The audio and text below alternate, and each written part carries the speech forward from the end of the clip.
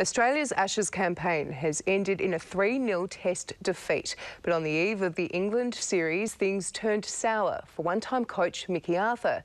Tonight, in this exclusive interview with Tim Gossage, Arthur opens up about his sacking and how he feels about losing one of Aussie cricket's top jobs.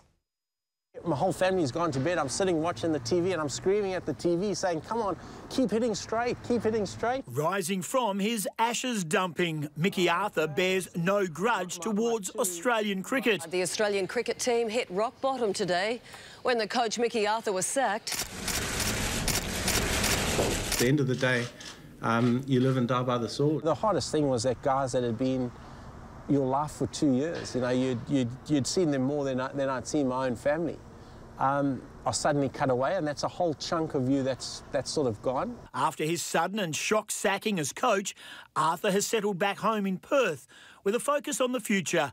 But hopefully, the cricket family remembers his past and not just some lopsided scorelines. I want to be a remembered guy that worked tirelessly for the betterment of the Australian cricket team, and I.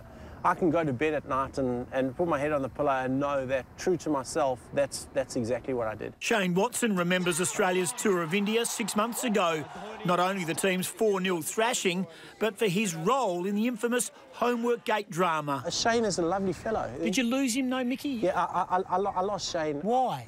After India, because I think Shane lost a lot of respect for me um, because he thought that he had been made an example of. I was just trying to make him the best he could possibly be. Arthur believes India was the beginning of the end, but feels he was on the right track. It's a group of very good cricketers. Michael Clarke's the only great player. Spending time with Mickey Arthur, it's hard to detect any bitterness or anger. My wife will tell you I'm a different person around the house because I'm just not constantly immersed in my ambition of getting Australia back to number one in the world. And you, you, don't live in the real world. You forget about everything else around you because you've just got one mission and one mission only.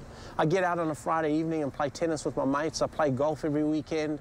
Arthur's headline-grabbing settlement with Cricket Australia was shrouded in controversy, with elements of his unfair dismissal claim being leaked prior to the hearing. Arthur is adamant he knows who and why it was done.